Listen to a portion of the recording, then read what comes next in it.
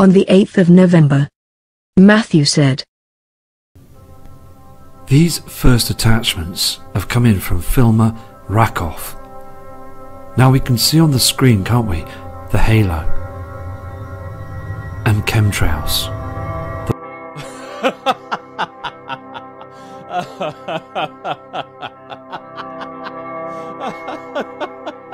he went on to say, The white object, dark shadows. Now I just want to say as well that every day we're going to try and get these images out, produce them onto video to show that they are still chemtrailing and the skies are being covered up to hide the truth. Oh please. I hope there are no birds in this clip or healthy trees, because they just can't exist. They are being killed off by chemtrailing. You must have a bird and tree simulator.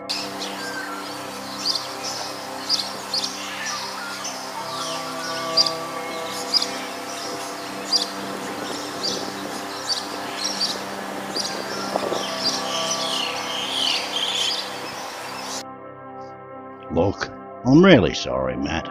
You've lucked out again. I keep telling those darn birds and trees that they just have to die for you. But you know what? They just don't pay any attention. And it also looks as though the chemtrail squadron decided to take the day off as well.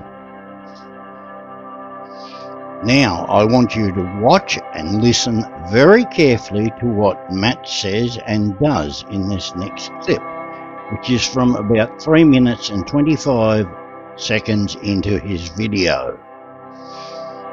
Now, my belief is that they are covering the skies to hide those objects that are incoming.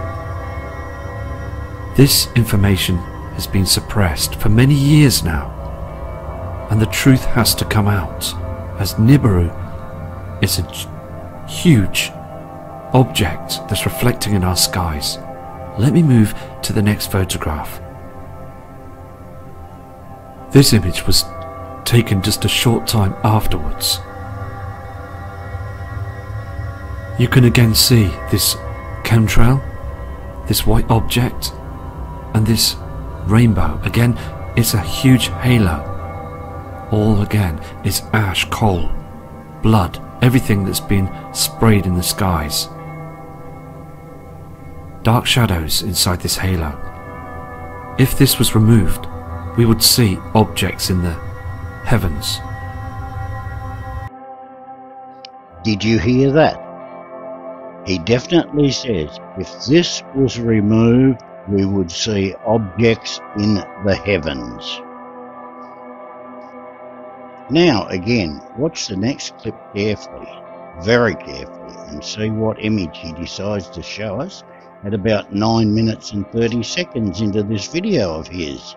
I think you'll be surprised.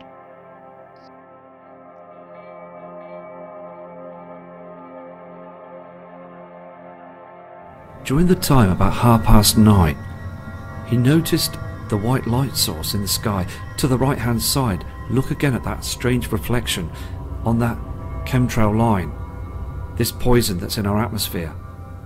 Now, many people still state as well no chemplanes, just these strange cloud formations that just appear in our atmosphere. So I believe again, our atmosphere is full of toxic poisons being spread across our skies to hide those reflections from them heavenly bodies. Now this image is of a fairly clear sky, but where are the bloody objects in the heavens the chemtrails from earlier on are supposedly covering up?